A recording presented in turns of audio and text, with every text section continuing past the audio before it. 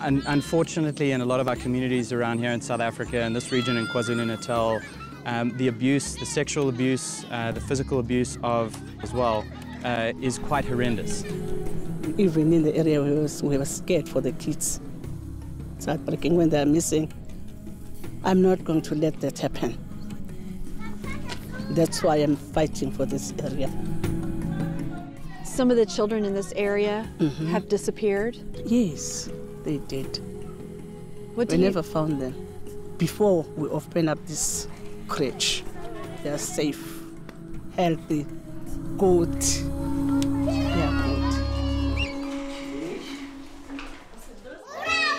So these early childhood development centers are not uh, little nice to haves or nursery places where they keep kids, you know, have fun and play games. They do all of those things, but this is actually investing in long-term benefit.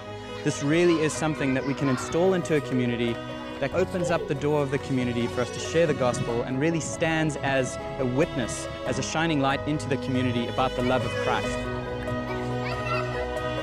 And we have such great opportunities through our classrooms of hope to help little like this who are going to make a big impact on the world one day. With your missions gift right now, you can provide safe classroom learning opportunities for young children. You and your special gift today will change lives.